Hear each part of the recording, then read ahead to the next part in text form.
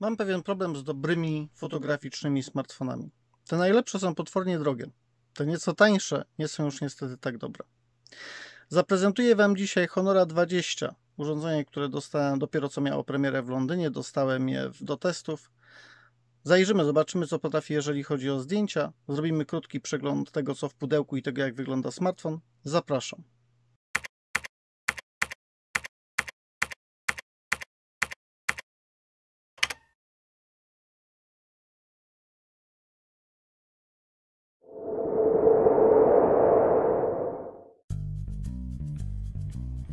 Zaglądamy do pudełka, a w pudełku jest oczywiście smartfon w kolorze, a jak żeby czarnym, który do zdjęć jest makabryczny zupełnie. Nie wiem, czy mieliście kiedyś ochotę kupić sobie samochód z czarną karoserią. Mniej więcej jest tak samo. Mamy jakieś, o jest silikon, jakże milutko. Będzie ochrona, jest kluczyk oczywiście do otwierania szufladek co my tu jeszcze mamy? Mamy konektor e, USB-C na jacka 3,5 mm audio. Jest oczywiście kabelek, o dosyć stosunkowo długi jak na e, kabelki ostatnio umieszczane i mamy ładowarkę, która jest chyba w tym momencie najciekawszą rzeczą. Nie wiem, czy będzie widać, zaraz spróbujemy wyostrzyć. To jest e, ładowarka Supercharge, która ma 22,5 W, jeżeli dobrze pamiętam. Musiałem okulary, powiem szczerze, założyć, żeby sprawdzić tutaj dokładnie. To jest zdaje się 4,5 V na 5 A, ale są również e, inne możliwe prądy ładowania w zależności od tego, e, jakie urządzenie ładujemy. Niemniej 22,5 W to jest całkiem szybkie ładowanie. Ciekaw jestem, jak to będzie w praktyce, ale o tym przekonamy się może nieco później. Załatwmy może od razu kwestię Dual SIM i karty pamięci. Otóż Honor 20 karty pamięci, moi drodzy, nie ma. Natomiast jeżeli chodzi o Dual SIMa, to właściwie no, przestajemy mieć jakiekolwiek wątpliwości, bo jeżeli nie ma obsługi kart pamięci, to nie ma również kwestii hybrydowy czy nie hybrydowy Dual SIM. Mamy po prostu szufladkę, która jest smartfon, który, który, którego pamięć wewnętrzna musi nam po prostu wystarczyć. Tej pamięci wewnętrznej jest 128 GB, RAMu przy okazji w 6 GB. Czytnik linii papilarnych umieszczono tym razem y, na brzegu smartfona. Nie ma go z tyłu, nie ma go w ekranie i to jest dosyć dobra decyzja Honora. Dosyć klasyczne miejsce, chociaż nietypowe jak na tego producenta. Czytnik działa bardzo fajnie, zresztą zaraz Wam pokażę. Odblokowanie smartfona czytnikiem linii papilarnych wydaje mi się bardzo szybkie. Wydaje mi się właściwie niemal błyskawiczne. To jest naprawdę dobra rzecz, taki ta, ta, tego rodzaju czytnik mechaniczny, nie ten w ekranie, dlatego że po prostu prędkość odblokowania, komfort pracy ze smartfonem jest znacznie dzięki temu większy. Nie konfigurowałem jakoś tego czytnika w sposób specjalny, nie robiłem tego po 5 razy, nie konfigurowałem dwa razy jednego palca, po prostu działa. Dla tych, którzy nie lubią stosować czytnika linii papilarnych, no jest oczywiście możliwość klasycznego odblokowania za pomocą kodu PIN, kodu cyfrowego. Yy, tutaj jak posłuchacie, zwróćcie uwagę, że w momencie, kiedy wyłączam telefon, słychać pstryknięcia. W tej chwili robiłem to takim kawałkiem palca, którego nie skanowałem. Natomiast w momencie, kiedy odblokowujemy tego kliknięcia nie ma. Widzicie? Czyli to nie, nie, nie, nie wymaga dodatkowego kliknięcia, jeszcze przy odblokowaniu wystarczy przyłożyć palec i smartfon jest odblokowany. Według mnie działa po prostu świetnie. Ale nie po kolei to wszystko, nie po kolei. Wybaczcie, ja działam dzisiaj w warunkach polowych. Smartfon jest czarny, nie mam dobrego oświetlenia. Na dworze wiatr dmucha straszliwie, a ja nie mam mikrofonu, który mógłbym zakryć przed tym wiatrem. W związku z tym jest jak jest, muszę Was prosić o wybaczenie.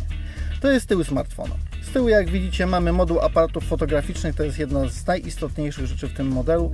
Mamy tutaj cztery aparaty fotograficzne doświetlającą lampkę LED i aparaty umieszczone niestety na wystającym module, który, wokół którego rzeczywiście paskudnie dosyć zbiera się kurz. Sam smartfon również jest jakoś mocno elektrostatyczny i ładunki tutaj powodują, że kurz się zbiera momentalnie. Natomiast co dosyć fajne, powłoka nie zbiera jakoś niesamowicie, pomimo tego, że jest na wysoki połysk, nie zbiera bardzo mocno odcisków palców i to jest fajne, że tego smartfona nie trzeba non-stop czyścić.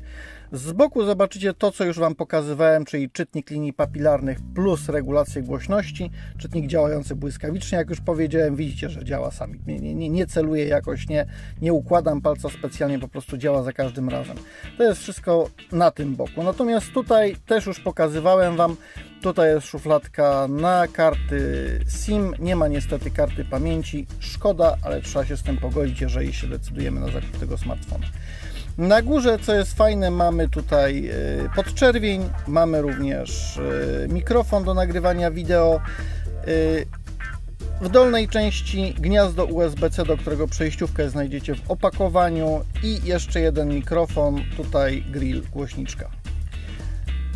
I to właściwie byłoby na tyle. Z przodu mamy bardzo fajny, duży wyświetlacz o rozdzielczości 1080 na 2340 to jest wyświetlacz o przekątnej 6,26 cala.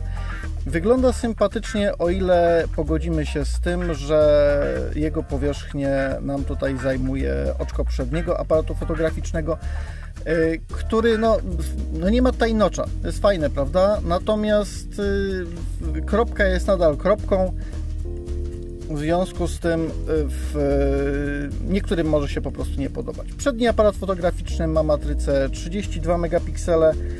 Mm, w związku z tym jest to, jest to oczko również dosyć duże. Jeżeli dobrze pokazuje, to zauważycie, że tutaj jest na dole interaktywna tapeta, która mi się zmienia w zależności od tego, jak y, ułożę smartfona z, odczy, z odczytań akcelerometru albo w, y, sensora grawitacji. I jeszcze jedna rzecz, o którą często pytacie na kartach smartfonów, mianowicie dioda powiadomień. Dioda powiadomień tutaj jest. Producent zdecydował się ją umieścić w słuchawce, tej służącej do rozmów głosowych, poza wyświetlaczem, jak widzicie, bo wyświetlacz zajmuje cały przedni panel. Y, w związku z tym dioda jest nieco słabo widoczna, ona jest maleńka, nieco lepiej widać ją pod kątem. Przy zapalonym wyświetlaczu stosunkowo trudno jest ją zauważyć. Niemniej dla zainteresowanych dioda powiadomień jest. No i zatrzymajmy się wreszcie na chwilkę przy tym, co najistotniejsze chyba w tym modelu, czyli przy aparatach fotograficznych. E, ten obiektyw na e, samej górze to jest e, obiektyw szerokokątny, za którym kryje się matryca 16 megapikseli. W środku jest główny aparat fotograficzny z matrycą 48 megapikseli i z przysłoną 1.8. Poniżej to co widzicie, co jeszcze wygląda jak aparat, y, to jest aparacik, który służy właściwie wyłącznie do pomiaru głębi. Tam jest matryca 2 megapikselowa i to takie maleństwo, które jest pomiędzy napisem 48 megapikseli a AI Vision. To jest z kolei kamera do robienia zdjęć makro z przysłoną 2.4. Te zdjęcia makro wydają się nieco dziwaczne, ponieważ robi się je z odległości 4 cm i daje się robić niestety tylko w dobrym świetle. Ja wczoraj próbowałem pstrykać w nieco gorszym, wieczornym, wcale nie takim złym i ten aparacik niestety już sobie nie daje rady, już nie jesteśmy w stanie zrobić zdjęcia makro, co nie jest jakieś strasznie dziwne, niemniej warto to zauważyć. Zdjęcia z tych aparatów wychodzą całkiem fajne, zarówno panoramy, zarówno zdjęcia wieczorne, jak i zdjęcia nocne są całkiem dorzeczne. Natomiast nie ma się co tutaj spodziewać cudów, moi drodzy, nie jest to P30 Pro na przykład, nie jest to również e, ta mocniejsza wersja, czyli Honor 20 Pro, który ma jednak zupełnie inną przysłonę w głównym aparacie, bo tam jest 1.4 w porównaniu z tutejszym 1.8. Tam jest stabilizacja obrazu w dwóch aparatach. Tutaj mamy wyłącznie, optyczna oczywiście, tutaj mamy wyłącznie stabilizację elektroniczną. E, także jest to nieco uboższy brat, nieco uboższa wersja Honora 20 Pro, wyglądająca niemal identycznie mająca niemal identyczne aparaty, ale jednak robiąca obawiam się słabsze zdjęcia. Co prawda nie miałem jeszcze okazji dłużej pobawić się Honorem 20 Pro, mimo tego, że byłem na premierze i brałem go do ręki, robiłem zdjęcia, ale wiecie jak to jest. Na ekranie smartfona zdjęcia wyglądają zupełnie inaczej niż później na dużym ekranie komputera, a na to jakby okazji, żeby przetestować, żeby obejrzeć je na dużym ekranie, niestety nie miałem. Obejrzyjmy kilka zdjęć zrobionych honorem 20. Nie miałem zbyt wiele czasu, dlatego zdjęcia nie będą bardzo urozmaicone, ale mniej więcej dadzą Wam pojęcie o tym, czego się możecie spodziewać. To jest jedna z łódzkich kamienic, wygląda całkiem nie najgorzej, jeżeli oglądamy ją zrobioną przy 12 megapikselach, bo pamiętacie, że e, te 48 megapikseli główne, którymi Honor dysponuje, jest łączone po 4 piksele, żeby uzyskać 12 megapikseli o znacznie większej wyrazistości. A tak to wygląda bez y, zmniejszania i zdjęcie nie jest jakiejś genialnej jakości. Widać tutaj pewne braki w ostrości. Powiem szczerze, że spodziewałem się troszeczkę więcej. Być może w, w, trzeba poczekać na jakąś aktualizację. Y, odzorowanie kolorów jest całkiem nie najgorsze, jeżeli chodzi o kolory zimne. Zieleń i kolor niebieski i jeszcze kolor żółty wypadają całkiem nie najgorzej. Y, cała reszta wypada dobrze, jeżeli jest z bliska. Przy dalszych planach to jest troszkę inaczej. Zerknijcie tutaj na ten zachód słońca. On wcale nie jest jakiś cudowny, w rzeczywistości wyglądał lepiej. Zazwyczaj mam z takimi zdjęciami ten problem, że yy, na przykład Huawei P30 Pro robi zbyt kolorowe. Muszę wtedy wyłącz, wyłączać AI, yy, które przez pomyłkę gdzieś włączyłem. Tutaj wszystkie zdjęcia są robione na automacie i bez AI, bez jakiegoś podbijania kolorów i wydaje mi się, że w tym wypadku akurat kolory są dosyć mocno sprane, bo ten zachód słońca był troszeczkę bardziej spektakularny. Ładnie wychodzą bliskie plany, tylko trzeba uważać na ostrość. Co prawda w, mamy tutaj specjalny tryb i specjalny obiektyw do zdjęć makro. Niemniej z ustawieniem ostrości bywają problemy. Mniejsze albo większe, ja wybrałem akurat te zdjęcia, w których te problemy mniej widać. Natomiast problemy są i w, w, warto to zauważyć. Być może również trzeba poczekać na jakąś aktualizację. Kiedy już się tą ostrość uda złapać, odwzorowanie szczegółów jest całkiem fajne, kolory w tym trybie również są bardzo ładne, żywe. Yy, tutaj w tym miejscu to zdjęcie jest robione rzeczywiście przy użyciu programu Makro. Y, nie wiem do końca, czy ono mi się bardzo podoba. Zwróćcie uwagę szczególnie na płatki. Y, wydaje się, że są tam jakieś artefakty wynikające z kompresji zdjęcia. Nie jestem pewien, dlatego że zbyt mało zdjęć robiłem, żeby taką pewność uzyskać. Natomiast globalnie zdjęcie nie jest najbrzydsze, jest y, naprawdę całkiem fajne. Ja się po prostu czepiam, dlatego że na co dzień wychodzą mi znacznie lepiej. No tutaj mamy bardzo fajne, akurat udało się ostrość złapać, jest robione zdjęcie przy dobrym świetle też bliski plan i ta, ten kwiatek, który macie najbardziej po prawo, ten zajmujący większość kadru yy, jest stosunkowo fajny, tutaj ta ostrość zadziałała, jak widzicie przy powiększeniu nie traci dużo. No i jeszcze sosenki i jeszcze czerwień. I ta czerwień jest rzeczywiście całkiem sympatycznie zrobiona, co prawda znów trzeba by było z tym zdjęciem coś zrobić, albo robić na ustawieniach manualnych i wtedy te przepalenia wszystkie i cienie byłyby troszeczkę mniejsze. E, to jest zdjęcie robione w pełnym słońcu, w związku z tym ono jest stosunkowo trudne i widać tutaj, że automat sobie nie do końca z nim poradził. Te miejsca, które nie są jakoś bardzo mocno oświetlone, no są do przejścia, o ile jest jeszcze na nie fokus ustawiony, natomiast cała reszta, no cóż, no ładny kolor. I to jest zdjęcie kolejne, całkiem fajne, stonowane, rozproszone światło, nie w pełnym słońcu robione. Widać, że poradził sobie tutaj bez najmniejszych problemów. Eee, mamy ładny różowy kwiatek po prostu. I to samo z kolorem pomarańczowym i tutaj też to mm, ten autofokus złapał całkiem ładnie, widać bardzo dużo szczegółów. Eee, zdjęcie wyszło bardzo fajne. Udało mi się złapać ostrość. To już jest zdjęcie robione w znacznie gorszych warunkach oświetleniowych. I tutaj nie jest, nie jest to zdjęcie nocne, jest robione na zwykłym programie, takim jak do zdjęć dziennych. E, ta maszyna rzeczywiście stoi w bardzo ciemnym miejscu, w bardzo ciemnym kącie.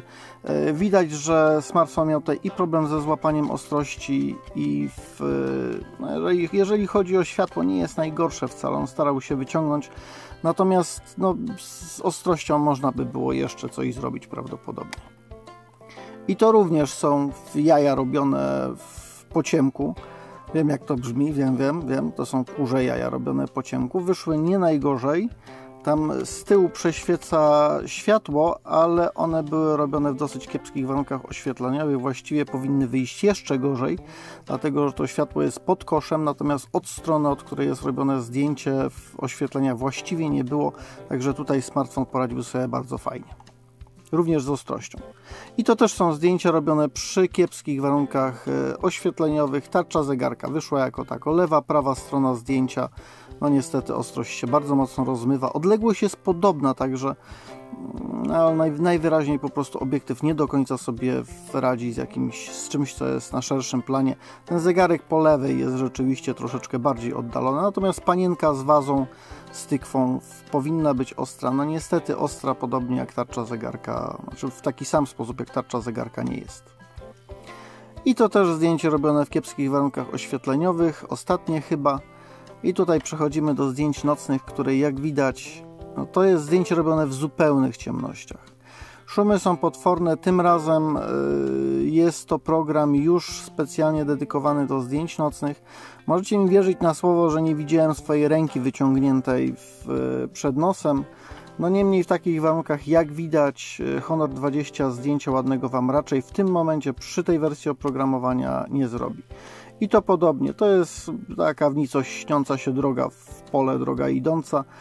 E, te chmury nie były aż tak oświetlone, to też jest zdjęcie robione w zupełnych ciemnościach. To, co prześwieca po lewej takimi ciapajami, to są krzaki rzeczywiście, w, e, które widać jako tako. Po prawej no, podobny mamy obraz. Nie jest to zdjęcie genialne, nie jest to świetne zdjęcie nocne, ale trzeba pamiętać, że to nie jest e, również smartfon z najwyższej półki. To pierwsza sprawa, druga sprawa E, jest to zdjęcie naprawdę robione w zupełnych ciemnościach, bez żadnego oświetlenia. A tutaj już mamy troszeczkę oświetlenia. Zdjęcie nie wygląda jak zdjęcie dzienne, rozmywa się tam, gdzie światła nie ma. Natomiast to jest jedna żarówka odległa jakieś 100 metrów w tej chwili od tego zabudowania. Także nie, nie, nie, to, to światło również tak nie wyglądało, nie było tak jasne. Widać, że tutaj smartfon sobie poradził znacznie lepiej, wystarczy właściwie jedno źródło światła, żeby już zdjęcie nocne zrobić. I tutaj ta sama scena, tym razem z trawnikiem i widać, że tutaj już były kłopoty z ostrością, w, mimo tego, że starałem się naprawdę ustawiać, klepiąc ekran jako szalały, w, próbując skupić go w różnych punktach, w różnych miejscach no niestety nie do końca wyszło. E, to jest zdjęcie robione, e, jeżeli dobrze pamiętam, również w trybie nocnym e, i widać, że domek wyszedł oświetlony bardzo mocno. To, to nie jest tego typu oświetlenie. Ta żarówka to jest oszczędna żarówka LEDowa. Widać również, że wszystko inne naokoło, no nie, nie dał rady smartfon tego wyciągnąć. Tutaj nie, nie ma żadnego nocnego HDR-a, nic z tych rzeczy widać ile widać. Natomiast tutaj to, to zdjęcie jest robione w normalnym trybie bez zdjęcia nocnego i różnicę widać. Poza tym, że nie mamy flesza takiego jak w przypadku tego pierwszego zdjęcia, no to niestety jakość odwzorowania szczegółów jest znacznie gorsza i widać tą różnicę pomiędzy zdjęciem nocnym a zdjęciem dziennym. Także różnica jest i aparat stara się ją pokazywać, to, że zdjęcia robione w trybie nocnym nie zawsze wychodzą świetnie, no cóż, no, trzeba się postarać zrobić kilka zdjęć, popróbować kilka razy. Za którymś razem coś wyjdzie. A tu jest chrabąż, którego bezskutecznie starałem się wyostrzyć. Yy, próbowałem naprawdę wiele razy, zrobiłem bardzo wiele zdjęć. To jest yy, jedyne, które nadaje się jako tako do pokazania, mimo tego, że chrabąż nadal jest nieostry. Zrobiłem tych zdjęć kilkanaście i ta ostrość była na pozostałych znacznie gorsza. A tutaj jestem ja robiony tylnym aparatem w trybie nocnym. Yy, jestem również właściwie w pociemku, natomiast widać w moich oczach, że źródło światła jest. Ono jest schowane co prawda i nie bezpośrednie, dlatego że to jest ta sama żarówka LEDowa, tylko że schowałem się za murem i to już jest światło rozproszone. Jaka jest jakość, sami widzicie. I to jest ostatnie zdjęcie mła, zdjęcie nocne. Oszczędzę Wam pokazywania moich porów i powiększenia tego zdjęcia. Natomiast jeżeli chodzi o zdjęcia dzienne robione aparatem do selfie, bo to jest przedni aparat, wychodzą całkiem nieźle pod warunkiem, że się ma wystarczającą ilość urody, żeby sobie takie zdjęcia robić. I to właściwie wszystko, moi drodzy. To są wszystkie zdjęcia, które chciałem Wam na dzisiaj pokazać. E, nie jest tego bardzo dużo. Natomiast, no cóż, no, w miarę jak będę te zdjęcia robił nadal, albo w któryś z recenzentów, który będzie, zabierze się za recenzję tego smartfona, będą się one pojawiały na karcie, także Was zapraszam serdecznie do oglądania.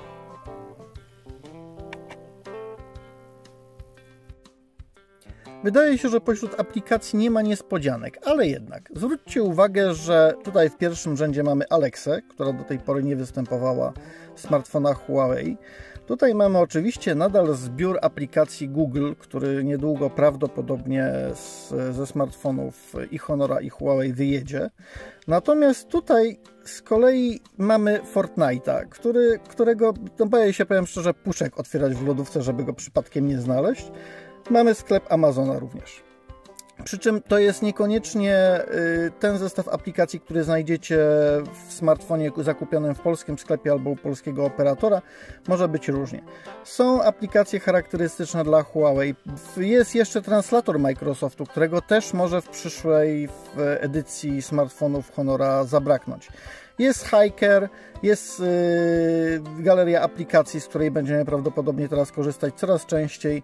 Jest menadżer plików, aplikacja zdrowie i tak dalej, i tak dalej. Właściwie, a no i jest jeszcze Booking.com do, do, dowalony właściwie niepotrzebnie, nie wiadomo z jakiego powodu. No, prawdopodobnie z powodu sponsorowania yy, pewnych rzeczy w, w przypadku Honora. Ale niewiele rzeczy nowych widać. Co bardzo fajne, w górnym interfejsie znajdziemy NFC, jest antenka, bardzo fajnie działa. E, jest oczywiście ochrona wzroku, która przyda się tym szczególnie, którzy używają smartfona wieczorem, w nocy, ale właściwie można go, ją mieć przez cały czas włączoną. Ona powoduje lekkie zarzucenie ekranu, znika to światło niebieskie, szkodliwe dla wzroku. Jest dosyć fajnie. Jest latarka, ale to jest też standard. Te rzeczy, które te, no Huawei Share, które ci, którzy mają Huawei znają doskonale, ponieważ już jest to chyba najszybszy sposób na wymianę danych pomiędzy dwoma smartfonami albo dwoma urządzeniami e, Huawei. Nie zazdroszczę, powiem szczerze, marketingowcom Honora, dlatego że zrobić tego typu urządzenie jest bardzo trudne. E, poza tym, że nie może być podobne oczywiście do tego mocniejszego, z drugiej strony jest podobne ze wszechmiar. Jest tutaj ten sam procesor w końcu. Jest tutaj bardzo mocna pamięć, słabsza co prawda niż w jakby mocniejszym bracie, natomiast nadal jest bardzo fajna. To jeszcze tutaj trzeba kombinować tak, żeby nie robić zbytniej konkurencji Huawei'owi. Fajne urządzenie. Wydaje mi się, że można mieć z niego naprawdę dużą pociechę. Jest tutaj sympatyczny ekran, mimo tego, że to jest tylko IPS, to nie jest AMOLED. Jak widzicie, są różne fajne, o tutaj, znaczy no może nie aż tak fajne, bo papugi jednak nie widać. Sposoby na ukrycie tego oczka tutaj w interfejsie. E, ale to oczko właściwie nie przeszkadza. W momencie, kiedy się z niego korzysta na co dzień, tak jak ja go miałem ostatnio przez dwa dni, to właściwie nie zauważam tego oczka, ale mnie również małe nocze nie przeszkadzają, duże nocze owszem, e, już znacznie bardziej. W każdym razie wydaje mi się, że jest to urządzenie dosyć atrakcyjne, ale będę musiał zweryfikować to używając je, nosząc może przez tydzień, kolejny, dwa tygodnie. Albo może oddam Joli, może Jola Wam o nim opowie troszeczkę lepiej niż ja, bo ja jestem niestety zmanierowany i będę narzekał prawdopodobnie bardzo mocno. Chociaż właściwie tutaj nie ma bardzo na co. Każdym razie dziękuję Wam, że w, oglądaliście. W, mam nadzieję, że Wam się podobało, mimo spartańskich warunków, którymi tutaj dysponuję i mimo kiepskiego sprzętu. Tak z grubsza przedstawia się Honor 20, jedno z najnowszych, e, jeden z najnowszych dzieciaków e, marki Honor. Mam nadzieję, że Wam się podoba, chociaż trochę mnie się podoba, powiem szczerze. Nie mam co do niego na razie za, żadnych zastrzeżeń. Zobaczymy, jak będzie trzymał na baterii, kiedy z niego troszeczkę dłużej pokorzystam. Na razie w ciągu dwóch dni właściwie jest ok. No, na takiej zasadzie, że go ładowałem do tej pory raz. W momencie, kiedy do mnie przyjechał i to tyle. Y, nie ma jacka, jest przejściówka. Nie zawsze może Wam się to podobać. Ja trzymam są, są swoją przejściówkę przy słuchawkach na wszelki wypadek, bo z telefonem raczej jej nie noszę. No i cóż, zapraszam Was w takim razie za jakieś dwa, być może trzy tygodnie na nieco dokładniejszy przegląd tego smartfona. Wtedy ewentualnie powiem Wam, czy warto się nim w ogóle interesować, czy można sobie dać spokój. Zobaczymy. Dziękuję. Mówił Jacek Filipowicz z kanału mgsm.pl. Mam nadzieję, że zobaczymy się następnym razem. Cześć!